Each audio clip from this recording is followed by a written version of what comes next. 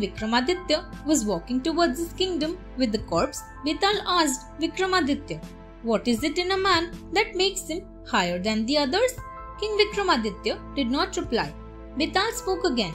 Listen to my story related to this and answer my question. If you do not, I will break your head into pieces. Saying so, Betal began to tell the story. Once upon a time, there lived a king named Shursen. He was the ruler of Magda. He was known all over the world as a very good king. Many people came to see him. One day, he went hunting in the forest. He started chasing a deer. He was so involved in chasing the deer that he went deep inside the forest. The deer got away.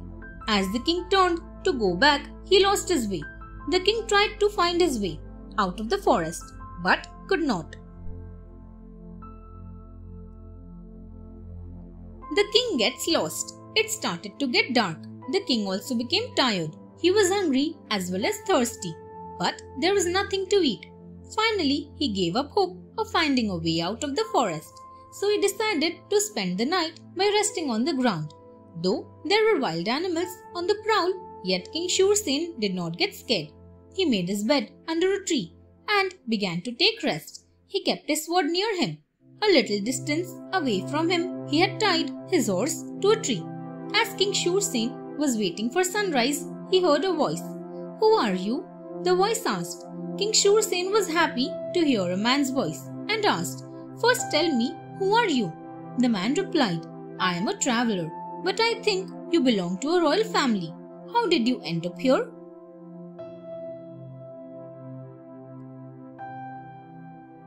Gunadheep the surprised king asked, How did you know that I belong to a royal family? The man replied, Your dress and your bejeweled sword are clear indications of that. The king replied, You guessed right. I am King Shursen of Magda kingdom. I lost my way while hunting a deer. What is your name?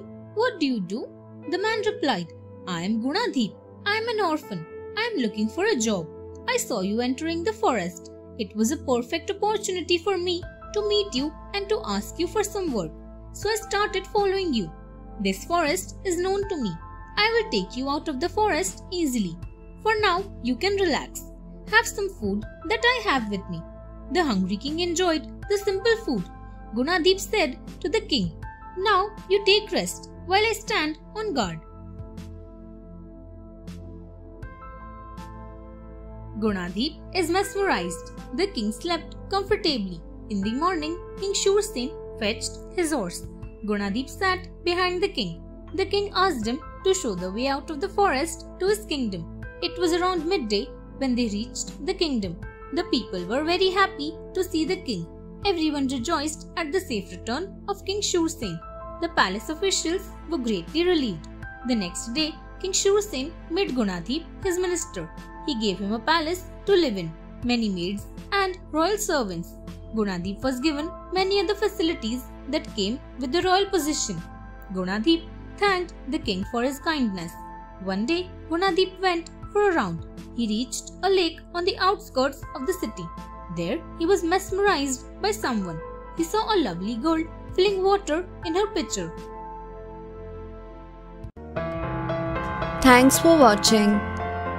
Do like, share, subscribe to Sahil Book House.